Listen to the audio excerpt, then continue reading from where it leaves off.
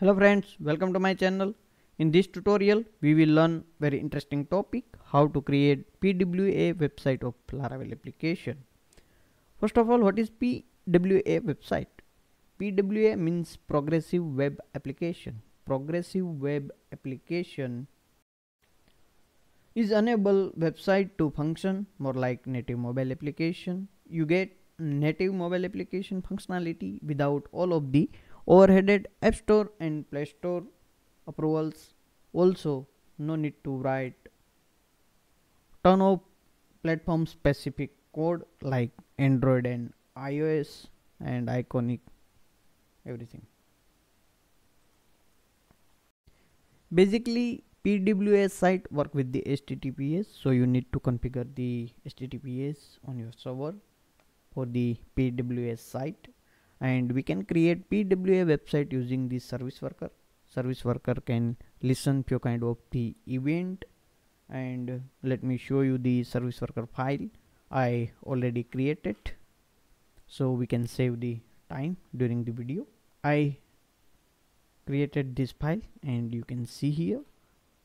This page event listen by the service worker and check from the cache and when install event fire this service worker preload the all the file and this file to cache we need to specify all of the applications route here and one more file we need to create and add in this array offline.html this offline html is render when we open the application uh, without any internet connection. That time this file open so we can design as per our expectation and we need to write the HTML for it. And this service worker also check here into the promise if got the status to double zero okay? Then fulfill the request otherwise reject. And here offline.html return if matching the status with the 404 that time this html is rendered by the service worker. We need to register this service worker in our root file. So let me show you the root file and let me uncomment this code and show you here. We need to include service worker js using the script tag also we need to register service worker using the navigator dot service worker dot register. And you can also console the success of the service worker register. And we need to check navigator service worker controller is exist then we need to run this code. Otherwise skip this. And also three more thing we need to add here. We need to add theme color and apple touch icon. So we need to specify icon here. Also we need to include the manifest file. Let me show you.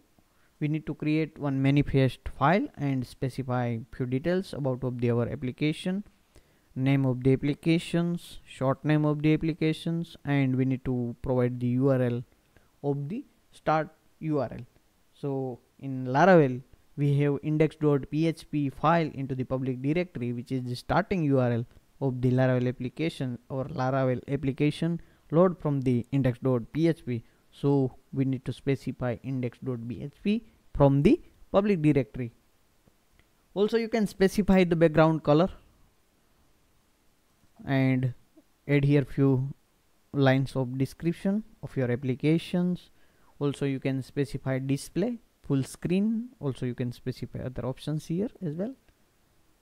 And theme color you can specify theme color as well and specify icons of your application. Also you can specify um, more than one icons here based on the your logo size. Here is 512 by 512 but if you want to more size add in your application then you can specify it here so it's maskable and this logo used when your application is installed in mobile that time. Let me show you one difference of the pws site and normal site. Let me open InfyOm website and show you. You can see here i already installed so first of all i need to remove the InfyOm let me remove it from the chrome. And let me open it again. Now you can see here I got the one option install InfyOm Technologies website. And in this you can see here no any options available. So I able to install this website as a Chrome app. Let me install and you can see it's working fine with like Chrome app. So we need to create manifest file one offline html and third one is service worker dot js i will commit this code into the github and provide the source code link into the video description so you can easily get these files and all this code so now everything is ready for the pws site. So let me refresh and show you. And you can see here now install icon is available in my this application as well. So you can easily create the pws site. You just need to fire these steps. First step is create service worker. Second one is create manifest.json third one is create offline.html and fourth step is you need to include js and manifest in your root blade file and just register this service worker into the root file and pw is working. So very easy steps. You can copy this service worker directly and use it in your website as well. So i will provide the source code so it's easy for you. No need to create service worker. Yes just you need to update this file to cache and you need to specify all of the routes in this array. So this service worker cache all of the routes and it's installed. Let me install this and show you.